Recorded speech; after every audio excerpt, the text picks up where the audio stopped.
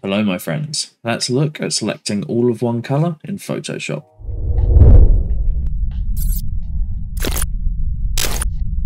Okay, so we're going to be using another old illustration that I should really finish. Let's say we want to change the blues. I have a texture layer, so I'm going to turn that off. Then we're going to go to Select, Colour Range, and we're just going to click on those blues. Hit OK. Then we can go to our flats layer where that blue is located, or go to any layer really. Stick a new layer above it, fill it with whatever colour we want,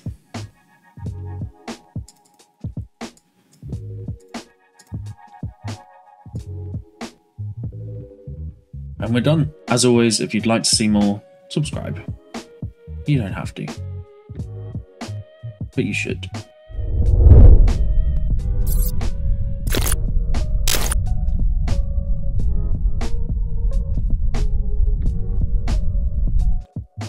フフフ。